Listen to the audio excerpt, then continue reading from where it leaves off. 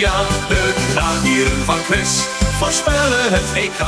Turkije, wie heb je meegenomen om kebab van die gasten te maken? We hebben iemand nodig die standvastig is. Die is niet aan te afbluffen door de tut, tut, tut, tut, tuteren, tuteren, tuteren van die Turken. En we hebben meegenomen Merel. Ik vind Merel erg close. Eh, Het is een triootje. Ik had dat niet achter Merel gezocht. Keurig, degelijk meisje. Be- Weet je, voorzichtig met Merel. Kijk eens, een lekker blondje, joh. Hoppa! Dat is wel, ik ken Merel natuurlijk van mijn werk in Den Haag. Merel loopt altijd alle kanten op. Ik heb er wel eens die renders die gangen achter een politicus aan. En er gebeurde helemaal niks. Je zou maar... Heb je wel eens? Moeten van die Turken winnen. Afgelopen week wonnen ze. En de hele Rotterdamse binnenstad. Tuut. Als jij s ochtends om vijf uur naar de haven moet om te gaan werken. word je knettergek van dat Turkse tuter, tuter, tuter. Ik kan me niet voorstellen dat jij ooit om vijf uur in de haven moet zijn. Ja, voor je jacht. Nou, en geen, geen kleinjacht.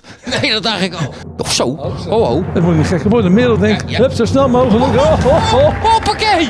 Nou, dit gaat lekker. Heel Rotterdam gaan rusten en gaan slapen. Geen getuter. De kranieren van Chris voorspellen het EK.